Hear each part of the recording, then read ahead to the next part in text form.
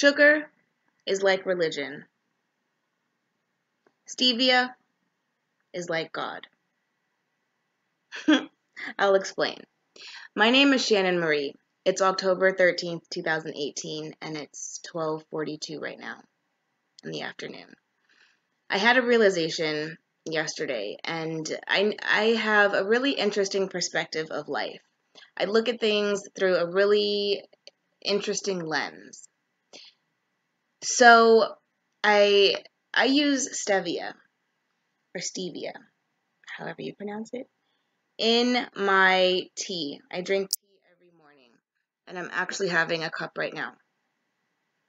And yesterday, when I was making my tea, I had this realization. It was like a little light bulb went off. And I am always thinking of ways, I'm a spiritual teacher, and I'm always thinking of ways to explain certain concepts, certain spiritual concepts, or concepts about life.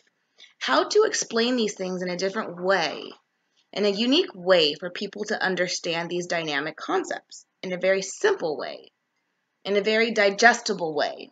So, as I was putting these little drops of stevia into my tea yesterday, I realized something. And I'll share it with you. So, this, and I use the liquid kind, and it's super concentrated.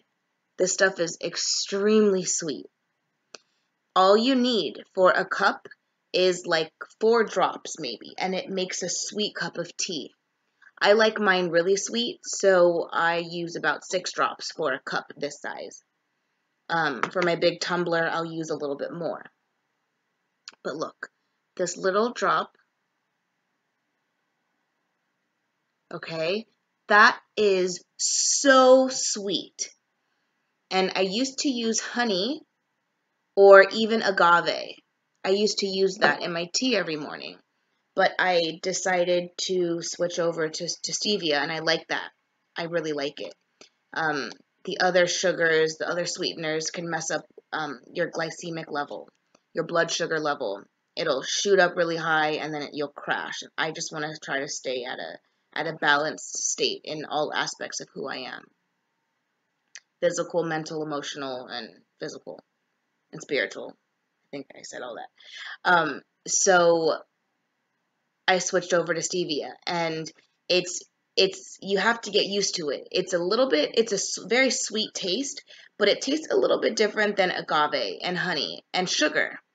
It has just um it's just a different it's a different taste. It's kind of an acquired taste if you are especially if you're used to just eating white sugar in your food or in your meals or in your tea. So I the beginning of this video I said religion is like sugar and stevia and God is like stevia or stevia is like God. And yesterday it just cuz God in heaven and my higher self constantly talks to me and guides me through my life and teaches me things and helps me gain a better, deeper, more dynamic understanding of myself and the world that I live in that we all collectively live in. And we all we all choose different things. We all have the free will to make different choices in terms of basically everything in our lives for the most part. And we, depending on the choices that we make, um, directly determines the quality of our life and the, the different aspects of our daily lives and our overall lives. So when you use sugar, pure white sugar, refined sugar, in your tea, in your coffee, in the foods that you eat, then that stuff is not good for you. It's very harmful to your body. And it's important for you to know that if you are constantly consuming white refined sugars.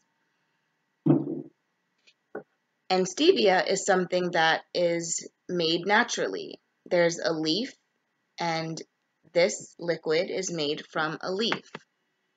It's a naturally occurring item that Mother Nature provides for us. And when you choose that, something natural, and it's actually helpful to your body, to your physical body, it's helpful to your teeth and just that in maintaining a healthy natural state of your body, it's just so much better for you and it's more nutrient dense. It's it's allowing your body to thrive versus be in a state of lower vibration. So that was just a little something that in my mind I think that was gifted to me, that whole concept of choosing a religion can sometimes be harmful, just as a white refined sugar can be. It tastes good and it looks good and it's packaged up really nice, but at the core of it, it could be harmful to you. And maybe religion is amazing for you. And um, I was a little bit hesitant to share this because I have family and friends that are very religious. Um, and it's working for them. But personally, in my spiritual journey over the last, I would say, eight, nine years, I have found that religion can be very harmful and even detrimental to people, to, to the masses. Because at the core of most religions, there is truth, but there's been so much done to water down and alter in negative ways the things that people know to be as truths. But when you go back to nature and keep it simple, as I was comparing God to stevia in a sense, just go straight to the natural source of who you are, your creator. When you seek guidance and when you seek support in this life, spiritual support, seek God. Call out God. You don't need and and and I love Jesus. I love Jesus. Jesus is one of my best friends in fact. Jesus is not someone that I really even acknowledged before I had my spiritual awakening until he came to me and spoke to me. And our relationship has gotten much more strong and beautiful because it's been conscious on my end. And so Jesus is real, and you can absolutely call on Jesus. And there are different ascended masters and angels that are all there and, and ready and willing to help us in this life. But when you want just there are just so many things that have, it's things have been convoluted and there are things that have gotten confused and not everything is how it seems. So when you call upon an ascended master or an angel, you have to have the spiritual discernment to understand that when they show up to you, that that's who that actually is.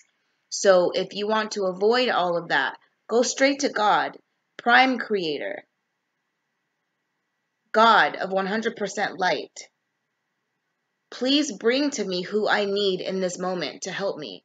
Bring the ascended master, bring the angels. Surround me with who I need spiritually right now to assist me in accomplishing what I want to accomplish today. So, refined sugar and stevia, a natural element that Mother Nature provides, versus a man made harmful substance that we con- constantly and worldwide bring into our body every day. So I'm just inviting you to have a perspective shift and shift your actions to provide a better, more sustainable way of living for you and a better, happier, healthier existence for you. So, hope that helped you understand, and I love you.